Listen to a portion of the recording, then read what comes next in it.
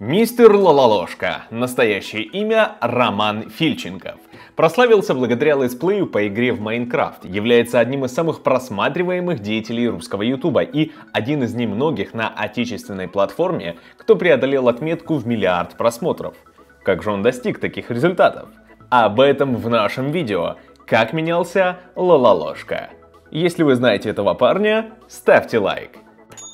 Родился 17 апреля 1998 года в городе Барнаул, что в трех с половиной тысячах километрах от Москвы. У него есть старшая сестра Алена, а еще он является одним из лучших друзей Ивана Рудского. И именно Роман помог Ване сделать уверенный старт на ютубе. Сегодня мы даже проведем параллель, с какой скоростью они оба развивались, но давайте обо всем по порядку. Стартовала деятельность Романа на Ютубе в 2012 году. С самого появления Майнкрафта на просторах интернета увлекся этой видеоигрой и уже через пару месяцев начал играть в нее на очень неплохом уровне. Именно ради него были созданы каналы Мистер Лололошка в мае, а через 4 месяца второй аккаунт Лололошка Юз. Многие отмечают, что основным фактором, который помог ему выделиться среди остальных летсплееров, стал хороший монтаж, качество звука и видео. Правда, вначале он скрывал свое лицо и ходил слух, что автор канала – девушка. Но на самом деле у Лалалошки просто был еще не прорезан голос. Всем привет, с вами Ложка, и сегодня мы будем рассматривать мод под названием Backlight Soldiers. Большую популярность роману принесла его манера комментировать видео. Он даже упоминал, что выбрал имя из-за своего веселого и легкого характера.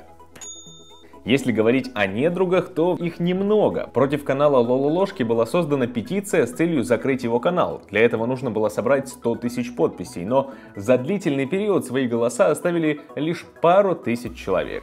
В день, когда Иван Гай создал свой канал 19 марта 2013 года, у Лололожки было уже практически 200 тысяч подписчиков. И именно Роман Фильченков стал тем человеком, который протянул руку Ивану Рудскому в начале его пути на YouTube. В середине лета произошло важное событие. Он впервые показал зрителям лицо. А вот осень 13-го с уверенностью можно назвать самой насыщенной порой года в карьере ютубера. 14 сентября с его канала списались 750 тысяч подписчиков, хотя, вероятно, это был баг Гугла, так как уже 18 сентября ему их вернули. 29 сентября Роман перешагнул отметку в миллион зрителей. В тот же день канал Ивангай отметил юбилей в скромные 40 тысяч. В октябре Лололошка временно решил забросить YouTube канал и перейти на Twitch, что негативно сказалось на статистике. Между тем, хотели бы сказать спасибо, ребят, ведь благодаря вам семья ютубера стремительно растет с каждым днем. Вот мы уже и у рубежа в 400 тысяч. А если вы впервые на нашем канале, то подписывайтесь, чтобы не пропускать самые интересные ролики о своих кумирах. Ссылка в описании. И возвращаясь к нашему сегодняшнему герою, 23 ноября 2013 года, одна из худших дат в истории канала. Аккаунт был удален из-за нарушения авторских прав. Двое суток понадобилось для разблокировки, но и этого хватило, чтобы потерять четверть сотни тысяч подписчиков. Также именно в это время хейтеры сорвали ему стрим. Они начали засорять комментарии множеством мата, стрим начал лагать и в итоге все это вызвало системную перегрузку и трансляция отключилась. Уже под конец лета 2014 года Роман снова прекращает полноценно работать над каналом, а когда число подписчиков насчитывало 2 миллиона пользователей, парень снова взялся за развитие профиля. Как раз в это время Лололошка начинает сотрудничать с Ивангаем. Именно тогда аккаунт Вани стал развиваться быстрее. Фильченков добавил его в раздел «Интересные каналы» и назвал братом.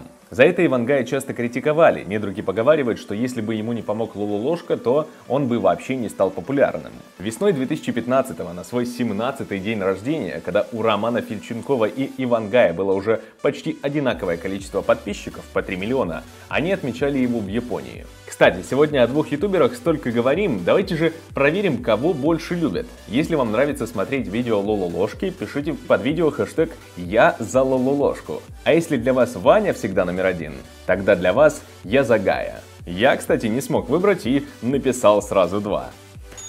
А теперь давайте вернемся к ролику и Японии, откуда ютуберы порадовали несколькими роликами, которые ближе познакомили зрителей с жизнью в этой стране. Например, вот этот мужчина подарил Роману торт, когда узнал, что у него день рождения. А вот с интернетом там дела обстоят не так уж и радужно. Сейчас-то мы увидим, какой быстрый интернет в Японии.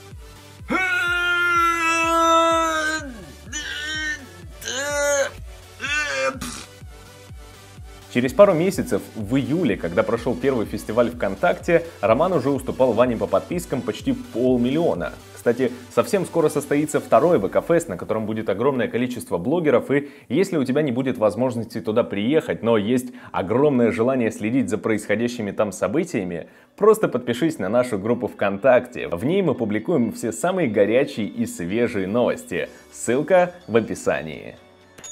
Сейчас Лола Ложка продолжает стабильно радовать зрителей своими работами. Он преодолел отметку в миллиард просмотров. Для достижения такого результата ему понадобилось выпустить более тысячи видеороликов. А вам понадобится всего лишь один комментарий под видео, чтобы прославиться.